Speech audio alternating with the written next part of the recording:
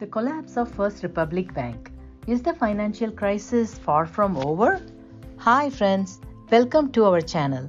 Today, we are going to be talking about the recent collapse of First Republic Bank and why it may not be the end of the financial crisis.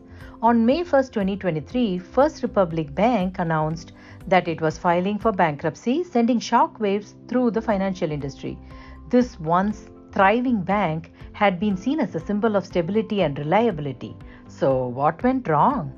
First, let's look at the events leading up to the bank's collapse. Like many other banks, First Republic had been hit hard by the 2022 recession, which saw the economy contract by 4.8%. This led to a surge in loan defaults and a sharp decline in revenue.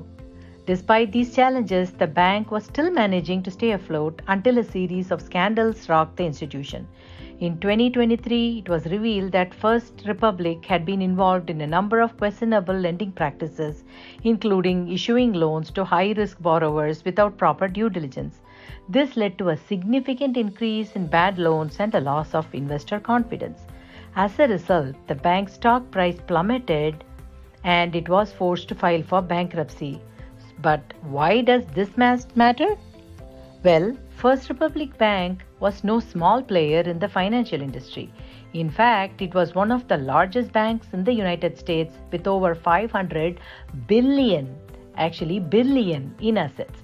Its collapse could have far reaching effects on the economy, including a potential credit crunch as other banks become more hesitant to lend money.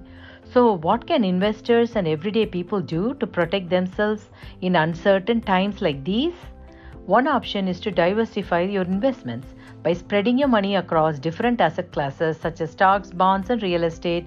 You can reduce your exposure to any one particular risk. Another strategy is to stay informed and keep a close eye on economic indicators such as GDP growth, inflation rates, and interest rates. By staying on top of these trends, you can make more informed investment decisions and adjust your portfolio accordingly. In conclusion, the collapse of First Republic Bank is a sobering reminder of the fragility of the financial system. While we don't know what the future holds, we can take steps to protect ourselves and our investments. By diversifying our portfolios and staying informed, we can weather even the most turbulent economic storms. Thanks for watching, and I'll see you in the next video.